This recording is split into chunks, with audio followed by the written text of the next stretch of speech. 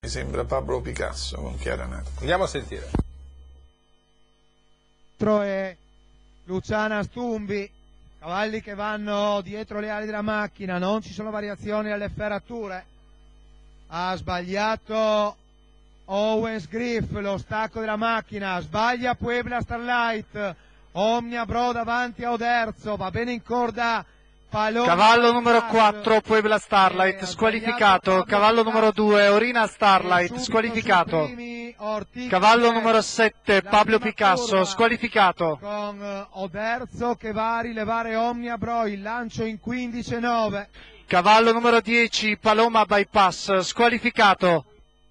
Un'ecatombe alla prima curva con molti cavalli fuori corsa.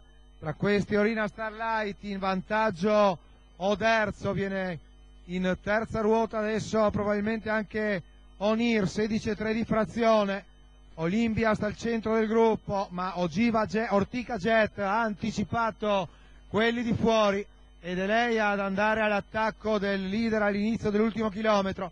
Paletto in 15-1 Oderzo in vantaggio. Ortica Jet in seconda corsia. In terza addirittura Onir che ha scavalcato Olimpiast, poi Omnia Bro, quindi ancora Odysseus Ovi e Picolit che completa assieme a Orione di Brazzai il gruppo di quelli che contano, 15 e mezzo la frazione, ritmo selettivo, quello tenuto da Oderzo, va un po' indietro Onir che ha fatto la curva in terza ruota, il che consente di sgabbiare a Olimpiast, viene in mezzo alla pista Odisseus Ovi, si inserisce bene Orione di Brazzà, il chilometro con eh, Ortica Jet respinta da Oderzo, 15 di frazione, Oderzo in vantaggio, poi il gruppo che si dispone a ventaglio, richiesta Ortica Jet ancora in seconda posizione con Olimpiast che avanza in terza, all'interno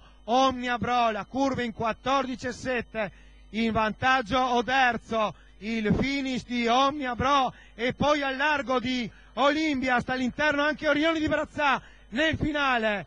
3-11 e poi 9-14-8 il probabile numerico arrivo del Quintè 1-16-6 la vittoria di Oderzo con Gianvito D'Ambroso per la Valle Falconera con Andrea Sarzetto da trainer il numero 11 di Olimpia sta il